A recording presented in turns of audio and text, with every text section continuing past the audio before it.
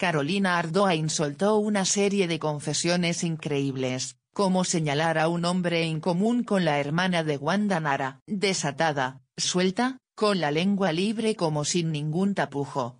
Lejos de lo políticamente correcto, Pampita sorprendió a miles con sus declaraciones picantes, esas que soltó en la visita al streaming roomies, que conduce Zaira Nara en las entrañas de Punta del Este. Probablemente nunca se la visualizó con ese semblante, con esa barrera levantada de consideraciones privadas.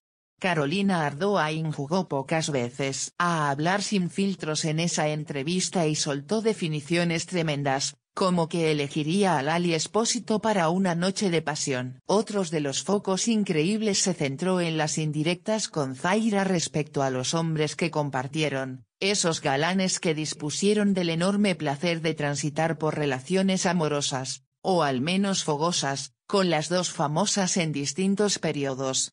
Una coincidencia que remanida en cuanto a Pico Mónaco y Nacho Viale, pero que incluyó a un tercer eslabón desconocido, como si fuese poco, en cuanto a este nombre oculto, Pampita deslizó que no se destacaba por sus atributos a la hora de la intimidad. Carolina incitó a la hermana de Wanda a que revelara cuál fue su pareja con menor tamaño, lo que causó una sorpresa mayúscula en el estudio. Ante eso, Zaira cayó en las garras del nerviosismo y justificó, he tenido mucha suerte, todos han sido muy bien agraciados.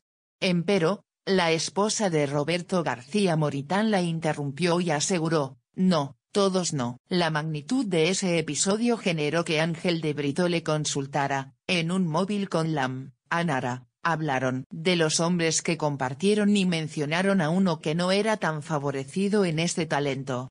Ante esa consulta, la morocha gambeteó, no sé de qué hablaba, le voy a escribir y le voy a preguntar.